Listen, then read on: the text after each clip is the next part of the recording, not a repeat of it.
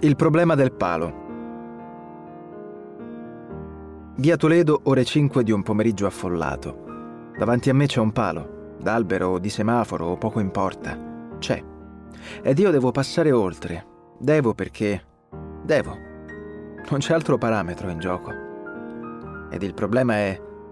Passerò alla destra o alla sinistra di esso? La risposta è... È del tutto indifferente ed in pratica, andando a verificare, del tutto indifferente sarebbe se non fosse per dei sé. Io che devo, non avendo motivo di fare una scelta, ebbene non sceglierei ed andrei a sbattere, poiché oltre quel palo ce ne sono altri ed altri, continuerei a sbattere ed a sbattere.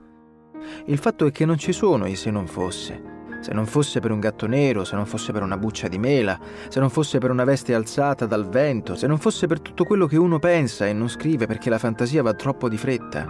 Per cui io che sono passato, già volte e sono passato senza spaccarmi in due, non ho idea di come io abbia fatto.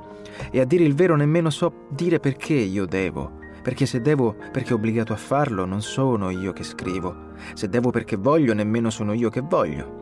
Come posso volere io che neanche davanti ad un palo so scegliere la sinistra alla destra o viceversa? Come posso io fare scelte più grosse?